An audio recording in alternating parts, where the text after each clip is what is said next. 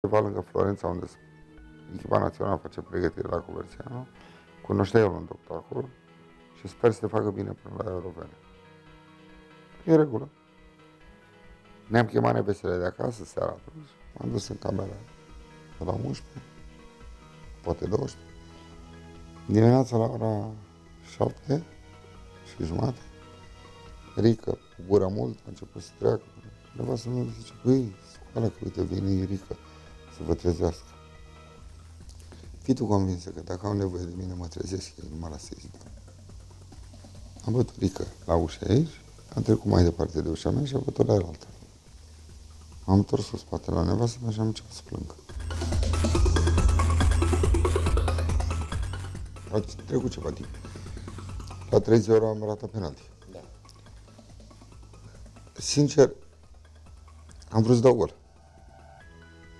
Dacă nu mai venit mingea înapoi, puteam să o bag oricând în poartă. N-am mai vrut, am vrut să-i driblez. În timp ce, ce mă pregăteam să trag penalti, Lița Dumitru știe că nu e atât de bătrân încât să fie uitat. Vine și mi zice, dă-o dracu, lasă acolo și așa, ratează și așa, e 30 ore, e prea mult. În fapt, într-un fel avea dreptate, pentru că erau prietenii noștri Timișoara. 3-0 era cupa câștigată, nu se mai înseamnă. 3-0, 6-0, nu mai conta. Și atunci am cerut lui Oblenco să, să mă schimbe. Și am ieșit, am și plecat. Eu următoarele trei goluri le-am mai văzut. Balaci nu-și uită adversarii, în general învingătorul ia tot, inclusiv amintirile. Ilie spune că a plâns o singură dată, dar nu după Benfica. Atunci a fost altceva. Miercuri 20 aprilie, în manșa a doua a semifinalelor, Craiova așteaptă cu încredere confruntarea cu Benfica după 0-0 la Lisabona în urmă cu două săptămâni.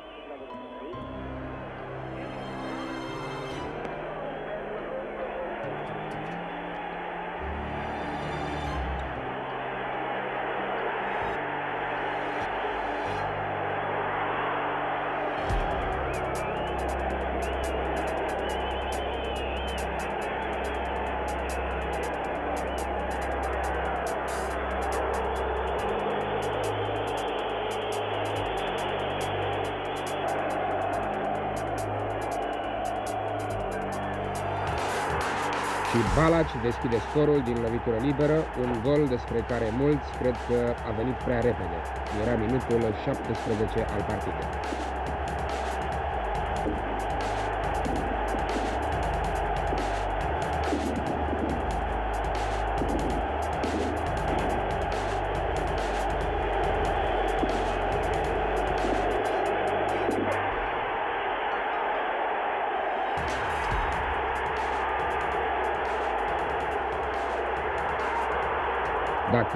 Minutul 30, că măcar ar fi marcat,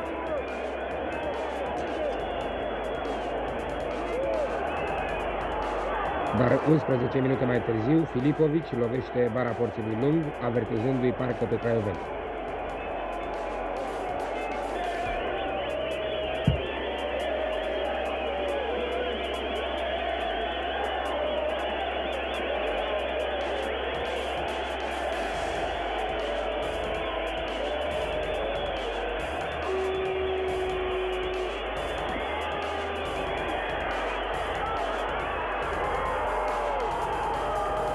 În repriza secundă, același Filipovici înscrie golul egalizator care avea să fie și cel al calificării.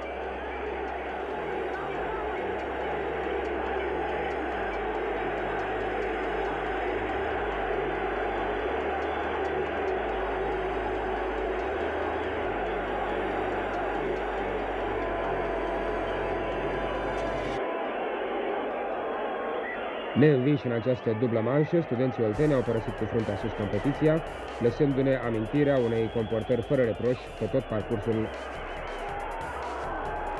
ediției precedente a Cupei UEFA. Ei au trecut pe rând de Fiorentina, Shamrock Rovers, Bordeaux și Kaiserslautern, adică de Antonioni, Pasarela, Bertoni, Trezor, Gires, Brigel, Alofs și Nilsson, nume de mare rezonanță în fotbalul european.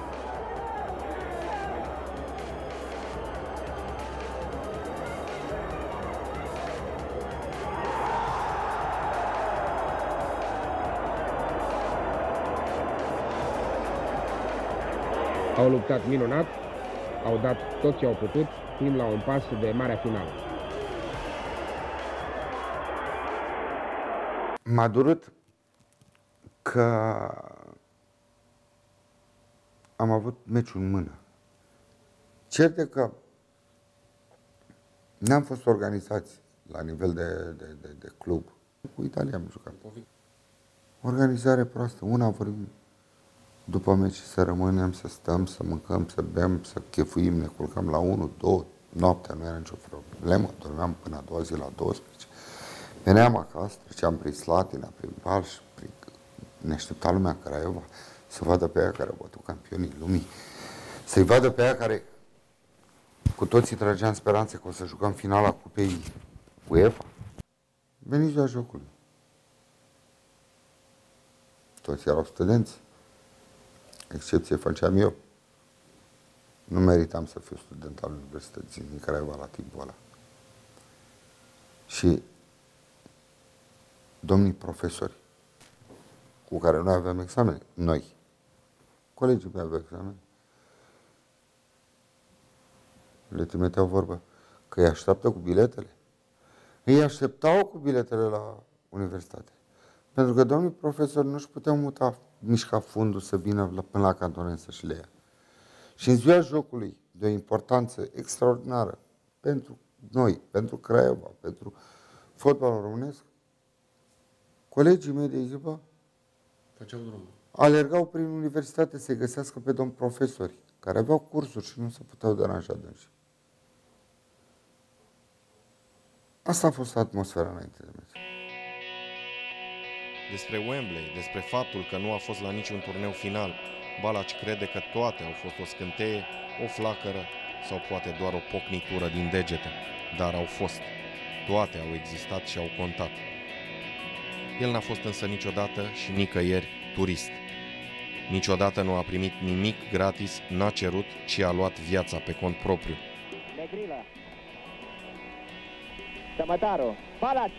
Balaci cu capul și Silton cade pe linia porții. Extraordinar.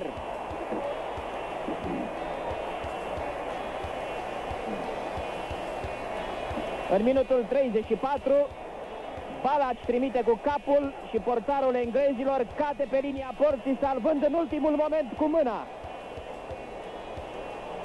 A doua zi într-un ziar, nu mai știu ce, Shilton ce, era ce foarte ziar, bun, da? Da. Era fotografia Shilton din spatele porții, în momentul în care mingea era undeva la mijlocul târgului și era în picioare Un volt. și pe, spa- și, nu, pe spatele lui se vedea Dunga, dunga aia de la în față. punctul ăla eram calificați noi și Anglia era afară. Sau Anglia era obligată să bată ultimul meci în Ungaria. Balac știe că totul a fost o victorie, chiar dacă tabela la sfârșit, la sfârșit de tot, poate a arătat uneori și altceva. În 1982, anul de glorie al lui, Gabriel Garcia Marquez primea Nobelul pentru un veac de singurătate. Ilie nu a fost însă singur, dar a făcut deseori mai mult decât o echipă. Mircea Lucescu spunea că Dobrin avea nevoie de public, Hagi de o săgeată, Dumitrache de instinct. Balaci n-a avut nevoie de nimeni, își era singur sieș de ajuns și a citit singur opera pe măsură ce a scris-o. Să zicem că un mare apărător ca Gentile, campionul lumii ar putea depune într-o zi mărturie. Ca și Mateus, Brigan, Antonioni, Bertoni, Grațiani, Pasarela și atâția învinși de Craiovei lui, a lui Ilie Balaci. A fost prea frumos? A fost ceva cu siguranță unic. Ceea ce e mai mult decât frumos. E definitiv. Ungureanu.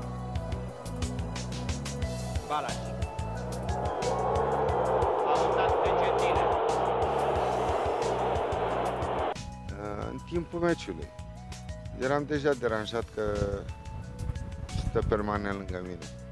Și la un moment dat l-am întrebat, zic, nu te supăra, ăla e Antonioni, nu? Da. Ăla alti Betega, da. Ăla alti Rossi, da. Zic, pe tine cum te cheamă? Îți poți da seama că toți suntem în lumea arabă, ca să facem o paranteză, era arab. Clocotea sângele în el. Nu i-a căzut deloc bine și a trecut la înjurături și la amenințări. E, cuvinte de care eu nu eram chiar așa străin. Știam să le folosesc, veneam dintr-un cartier destul de interesant din Craiova și am început să ne adresăm din astea, cuvinte din astea frumoase. Și Balaci în acțiune, urmărit de Antonioni. Pas adresată lui Joel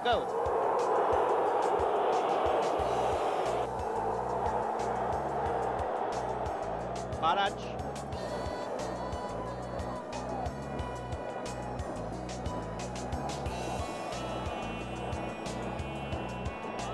A trecut de Betega, îl are în față pe Gentile. Pasează spre Ungureanu. Out Tardelli.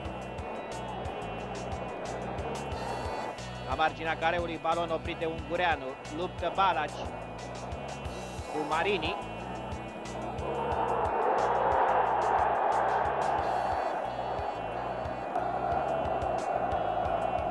Balaci din urmă vine Beleni. Beleni,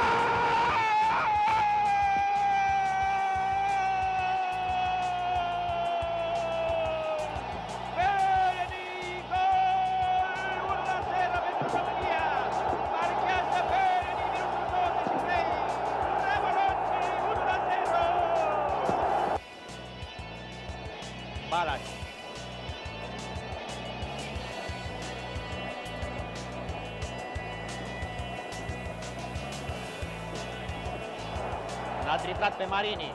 Pasează subtil lui Beleni. Cămătarul încearcă un 1-2 cu Beleni. Dar mijlocașul nostru comite hands, involuntar. Scurt lui Balaci. Îl are în față pe Gentile. Obstrucție.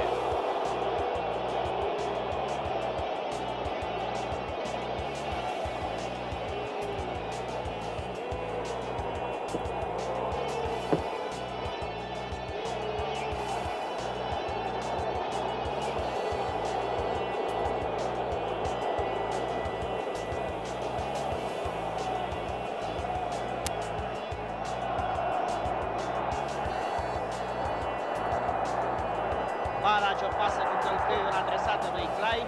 Balaci. Balaci este faultat de Cabrini. Foarte bine face Balaci că încearcă să păstreze balonul în astfel de situații. Întreaga noastră echipă a jucat inteligent în repriza a doua, nerepezindu-se peste italieni și lăsându-i să facă ceea ce ei de obicei nu fac, să atace.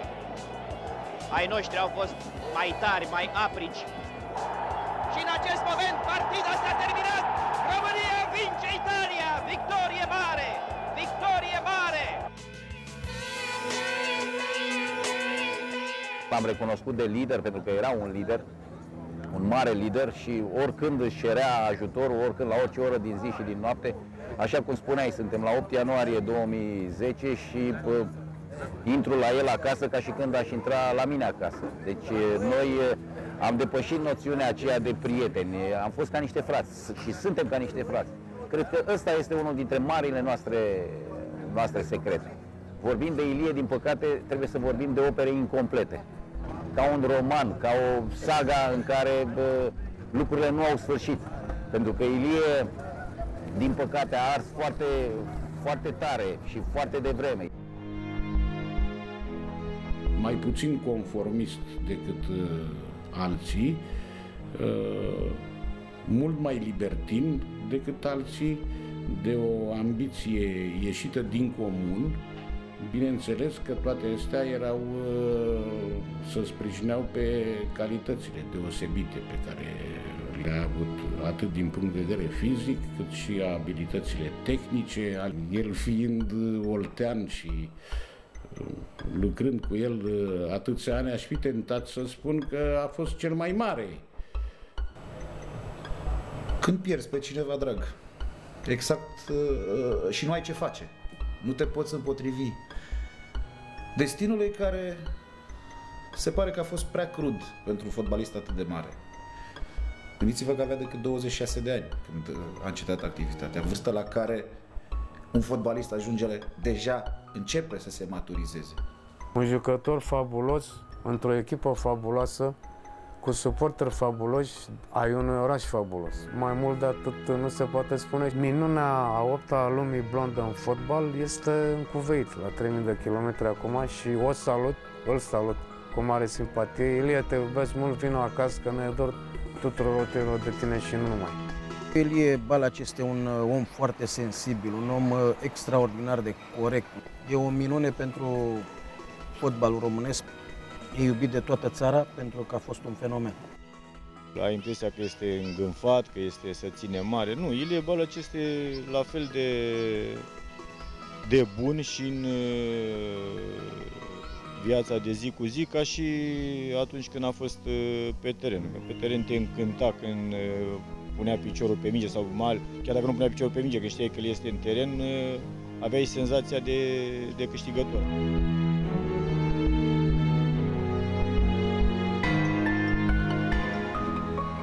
Așa că, una peste alta, mulțumesc celui de sus pentru tot ce mi-a dat și să-i mulțumesc pentru tot ce va da de acum înainte. Mulțumesc că sunt sănătos, copiii mi sunt sănătoși. Craiova a fost și cea mai frumoasă și cea mai bună. Eu am fost și cel mai frumos, și cel mai bun, și cel mai deștept, și cel mai cel mai jumătate.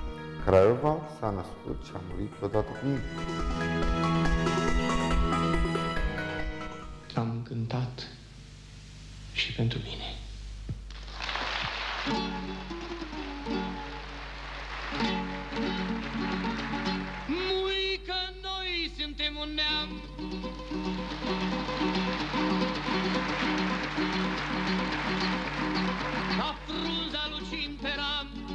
Dacă n-aveam și de soi Trăgea mult mai la noi.